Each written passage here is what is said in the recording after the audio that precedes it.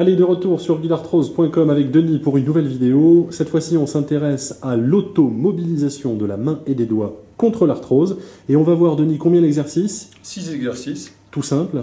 Très très simples, qui vont aussi s'intéresser à la mobilité du poignet. On a besoin de quoi pour euh, ces exercices? Alors on a besoin euh, là d'un medicine ball, mais enfin voilà, ça vous allez voir dans l'exercice. Un ballon. quoi il sert un ballon, ça peut être, Quelconque. euh, voilà, quelconque. Basket, quelque chose qui roule. quelque chose qui roule. Oui, mais qui puisse euh, voilà, qui puisse prendre la main comme ça. hein. Ok, Et puis euh, et puis ensuite d'une autre main. parfait. Voilà. Alors, premier exercice? Alors le premier exercice, c'est un exercice qui va intéresser la flexion-extension du poignet, ce sont ces mouvements-là. Euh, très simplement, alors toujours se mettre en contexte, moi je vous le montre, c'est très facile, ça a l'air facile, euh, pour, euh, ça s'adresse à des gens qui ont aussi un problème d'arthrose, et donc c'est beaucoup moins évident. Donc ça peut paraître simple de faire simplement rouler le ballon comme ça, euh, bah, pour moi évidemment c'est Quand simple. on a un poignet sain, oui, Bah oui. effectivement, mais quand on a un poignet arthrosique. et de le ramener comme ceci. Vous voyez ici qu'il y a une extension du poignet, d'accord? Et dans l'autre sens, je ramène, le- et là on est parti dans l'autre sens au niveau du poignet, c'est une flexion, d'accord? Très très simple.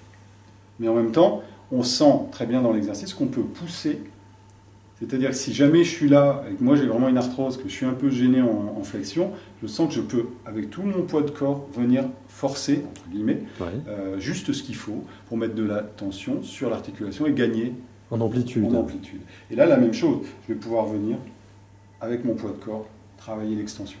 Voilà, très simplement. D'accord? Ok, Flexion, extension. C'est parfait. Ensuite, Combien de répétitions? Alors c'est toujours la même chose, on est euh, dans toutes nos automobilisations, on a une posologie euh, très simple qui est d'une dizaine de répétitions. Là, on est sur une dizaine d'allers-retours dans ce cas-là.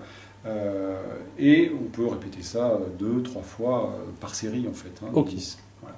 Parfait. Ensuite, on va pouvoir euh, mobiliser dans le- la flexion-extension du poignet euh, exactement de la même manière, c'est-à-dire, euh, enfin pas de la, enfin, de la même manière forcément puisque c'est une flexion-extension, mais avec, le, avec la main opposée.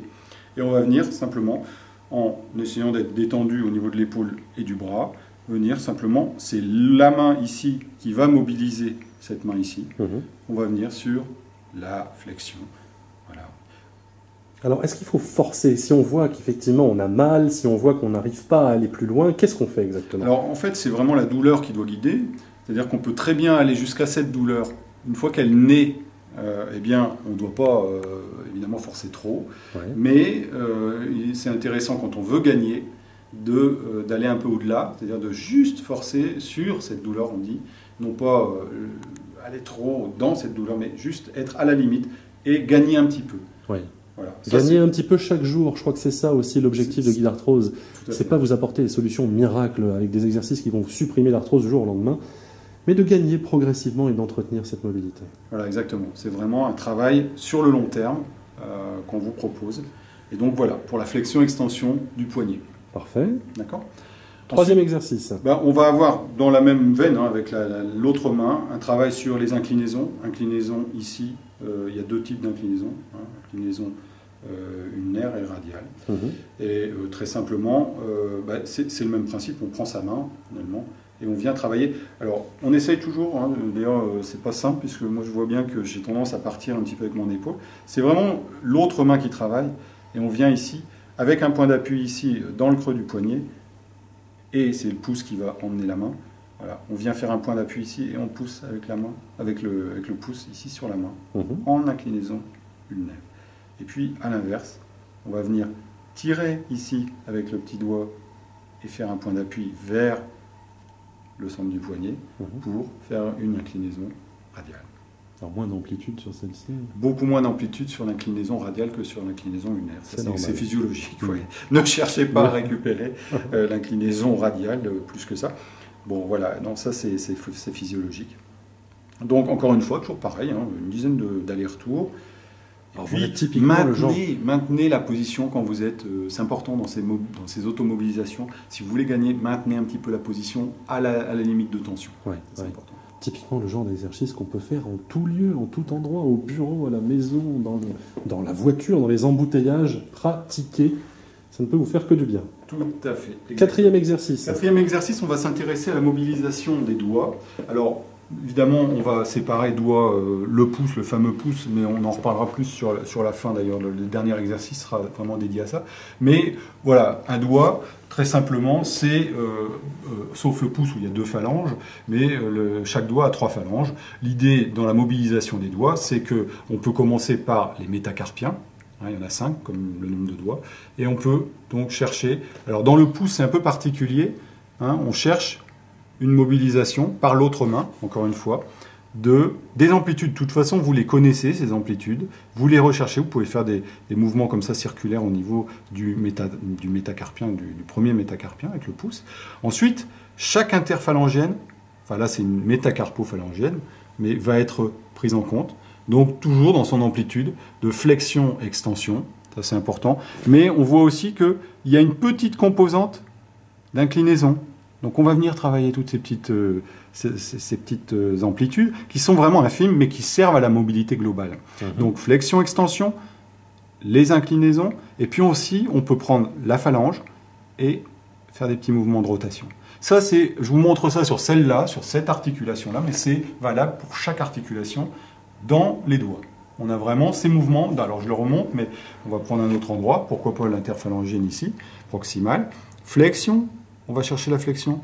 L'extension, on va pouvoir chercher une composante d'inclinaison. Alors vous verrez, selon les doigts et selon vos articulations, ça bouge plus ou moins, ça c'est sûr. Et puis, composante de rotation. On peut même ajouter un petit mouvement ici de tiroir, beaucoup plus, c'est peut-être un peu plus compliqué à faire, facile à faire sur quelqu'un d'autre, mais sur soi-même c'est difficile parce qu'il y a, il y a une, ré- une- une résistance. Mhm. Mais vraiment restons sur flexion-extension, inclinaison latérale, hein, on est là, et puis rotation. Donc ça c'est vraiment la, la mobilisation, ça se fait au niveau de chaque articulation. Donc là, il n'y a pas de question de répétition, je suppose, mais enfin, Je on pense traite chaque doigt. Voilà. Les chaque articulation l'une après l'autre, et puis bon, on y passe à mon avis, euh, si on le fait vraiment sérieusement, on peut passer 10 minutes, un quart d'heure. hein. Parfait. Voilà.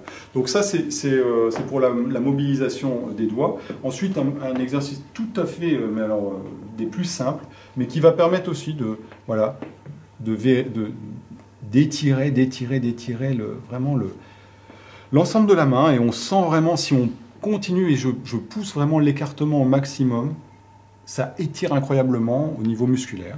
Mhm. Et puis on rapproche. On essaie de maintenir combien de temps l'extension comme ça? Il n'y a pas de règle, encore une fois, mais sentez qu'il y a un moment où là, euh, je, le, je mobilisais, je mobilise, je gagne encore, je sens, je sens que ça peut encore, vous voyez, je gagne encore ici, je gagne encore là-bas, je sens que ça étire, et d'ailleurs, je sens que ça étire, ça tire moins que la première fois déjà. Mhm. Donc, voilà, une fois que j'ai senti qu'on on est à un maximum, on peut s'arrêter. Et on revient, on resserre, et on réécarte. Ça, c'est pareil, c'est une dizaine de, de mouvements aller-retour. hein.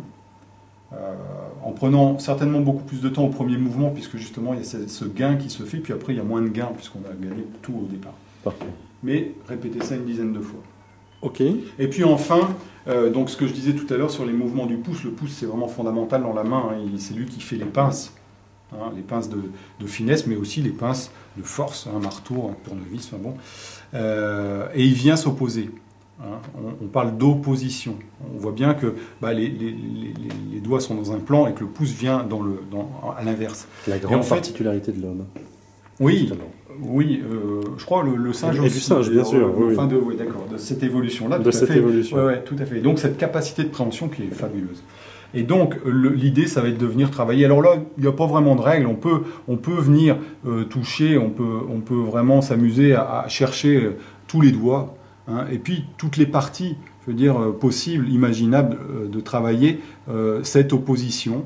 euh, avec chaque doigt. L'idée, c'est là, c'est de prendre le temps de le faire, d'aller chercher, de vous jouer avec vos doigts finalement. hein, c'est- ni plus ni moins. D'ailleurs, on, on peut même euh, s'amuser pendant qu'on travaille l'opposition du pouce à aussi, euh, vous voyez, à faire une, un travail de- d'automobilisation des phalanges. Tout est possible, mais l'important c'est que le pouce vienne travailler, vienne chercher, vous voyez, ce, ce mouvement Ouais. de là, il vient là. La main, c'est fondamental. Il faut absolument entretenir son mouvement.